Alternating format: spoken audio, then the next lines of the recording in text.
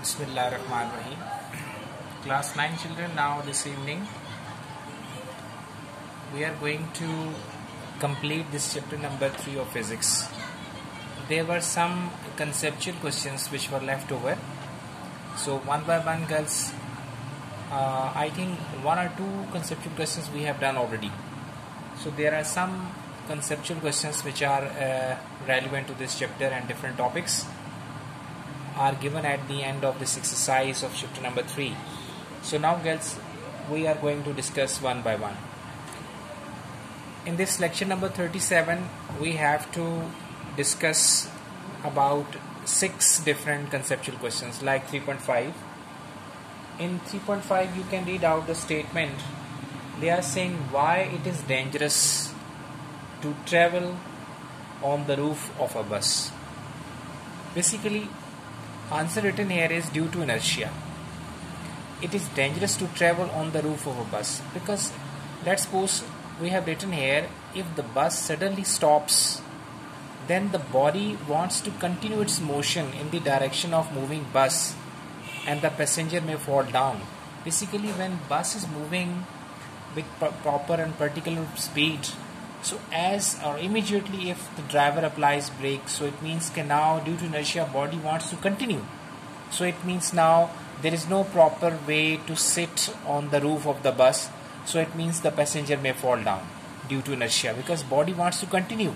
So if uh, brakes are applied by the driver and definitely the body is not in the control of the passenger so passenger may fall down.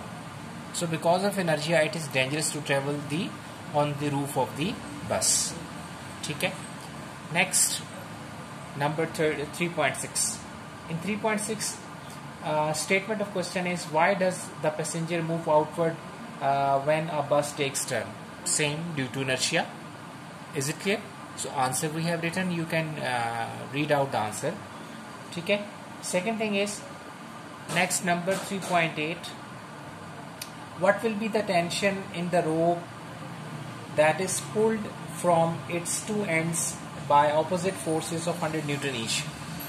So it means girls let's suppose if we have a string and you are applying force on the string and equal uh, equal forces are going to be applied on two different directions means towards right hand side and left hand side. So if each force applied is equals to 100 newton so it means now scientists say that throughout the string the tension will be same 100 newton if you are applying 50 50 newton each on both sides so it means in the string there will be 50 newton uh, tension exists there. Similarly if you are applying 30 newton each so uh, a tension existing in the string will be 30 newton and so on. Okay?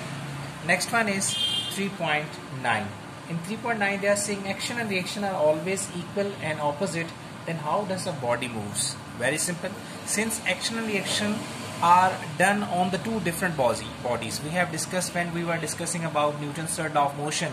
Do you remember? At that time, girls, I had discussed that action is done on one object, whereas reaction is done on the opposite ob- on the different object.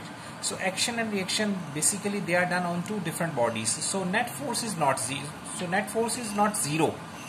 Since net force is not zero, that's why the body moves. Is it clear?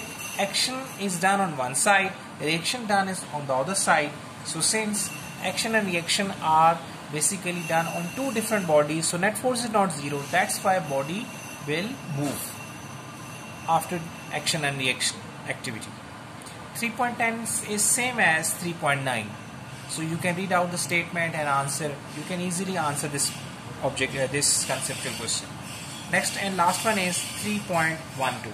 In 3.12 he says why is the law of conservation of momentum is important. Yes girls, basically law of conservation of momentum is important because uh, this law consisting of mass and velocities so it means most of elementary particles are discovered by the use of this law. Basically in nuclear physics uh, whenever we have to apply this law so we can find out the mass of unknown particles right so it means now this law is applicable wherever it is needed. So it means by the help of this law we can find out the mass and velocities of unknown objects and particles. So this is the application of Newton's law uh, Newton's law of conservation. Okay? So this is law of conservation of momentum. Sorry. Uh, this is law of conservation of momentum. Okay? So in the next video we will continue uh, the next uh, conceptual questions. Okay. Thanks